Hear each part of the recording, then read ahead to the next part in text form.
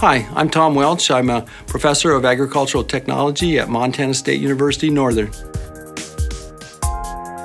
Our programs uh, revolve around science of agriculture, the technology of agriculture, and the business of agriculture. There are, there are many laboratory exercises I've developed or um, have um, incorporated into my program areas that I teach and the classes I teach. And the, the day we were working with uh, soils, we were testing them for their texture, and there are 12 USDA soil textural classes, and we were using Stokes' law, which is a, a physics law that relates to the settling of particles in uh, distilled water.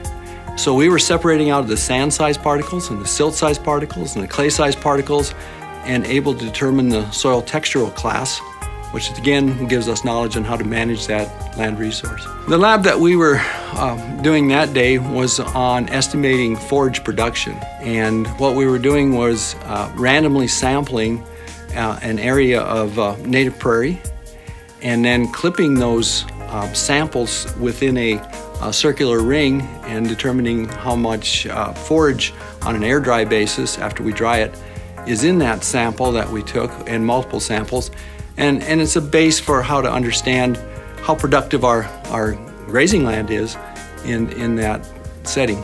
Managing agriculture today involves a tremendous amount of technology and those devices or tools to help us more precisely uh, make decisions, uh, tens of thousands of dollars decisions, whether you're in production agriculture or, or in agribusiness. So there's a magic to most things in agriculture, and, and uh, Northern uh, has opportunities for students to uh, incorporate uh, a learning and, and, a knowledge about that those components of agriculture that to me are just uh, fascinating and continue to expand as our uh, technologies develop.